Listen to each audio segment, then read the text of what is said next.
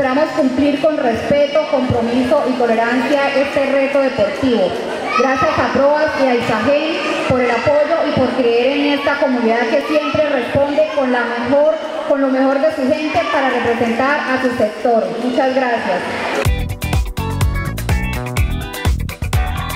La actividad deportiva está integrada por madres, estudiantes y líderes comunitarias, quienes a través del juego promueven y defienden los derechos humanos y de las mujeres, entre ellos el derecho a la educación, a la salud, a la familia y a la igualdad.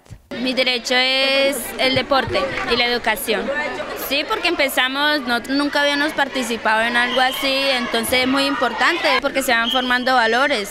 Entonces, y tanto acá como en muchas partes, o sea, aprender a, respetarnos del uno a los otros y sabemos que nosotras mujeres también podemos. Pues para nosotros es muy importante el deporte, ya que en eso se basa la salud, más que todo lo de la respiración. Mensaje hacia nosotras, pues no es tanto de que por lo que los hombres dicen que si una mujer juega es machista, las mujeres también tienen derecho a participar en los Juegos. Con esta iniciativa se fortalece la proyección de la mujer hacia la comunidad desde la promoción y defensa de sus derechos y de la sana convivencia, aspecto que apoya a Isaquén a través del programa de atención psicosocial PROAS a cargo de la diócesis de Barranca Bermeja.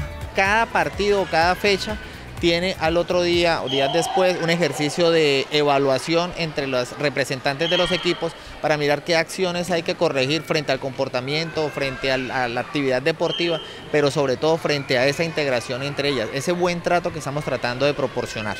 Los encuentros deportivos reúnen a la familia y a los vecinos de los sectores participantes, quienes alientan a las jugadoras. Me parece muy bien porque, digamos, la gente sale a divertirse, a, a mirar, a, mirar cosas nuevas, ¿sí? Eh, a cambiar la rutina un poco. Eh, tanto las mujeres como los hombres, los niños, todos salen a divertirse y, y, me parece muy bien. Con cero tarjetas amarillas y rojas, las mujeres demuestran que al momento del juego priman valores como la tolerancia, el respeto, la solidaridad y ante todo el juego limpio.